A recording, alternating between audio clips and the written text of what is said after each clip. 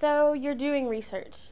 How do you decide who to trust and which information to accept or leave behind? Let's take a look.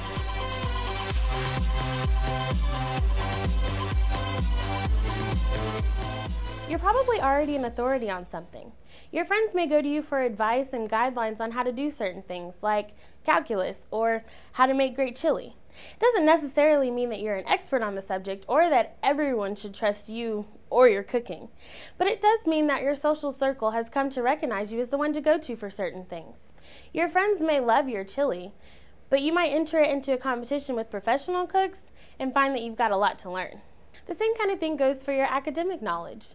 You might be a knowledgeable and useful tutor to your peers, but try to apply for a job as a calculus professor and you'll find your way out of your element. That's because you're trying to function in a new and different community. Systems of authority, trust, and reliability can look different in a variety of groups. Figuring out who to trust also depends on your information need. If you're writing an in-depth research paper on action movies and evolving gender roles, you'll probably need to use library databases and investigate some scholarly articles written by experts on that topic. But if you're just trying to decide if you should spend a few bucks at a movie theater, you can read reviews online, potentially written by anyone. It doesn't have to be a professor of gender studies or film criticism. But even in these simple cases, you might decide that you trust one reviewer over another. Why is that?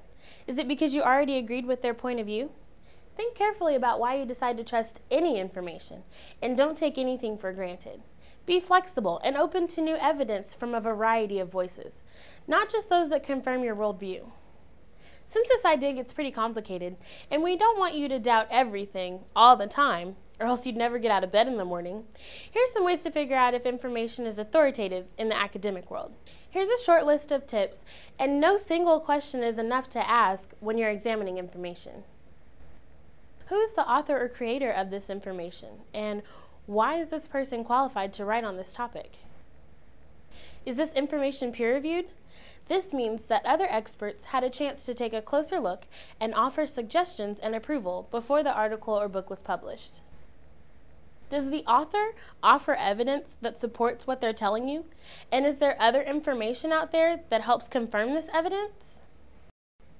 As you go through your academic career, you'll develop more expertise on a subject, and you may even be recognized as an authority one day. It's your responsibility to make sure that you're using the best possible information in an ethical way and connecting with your community and others in order to share your own knowledge. And that's how you inform your thinking.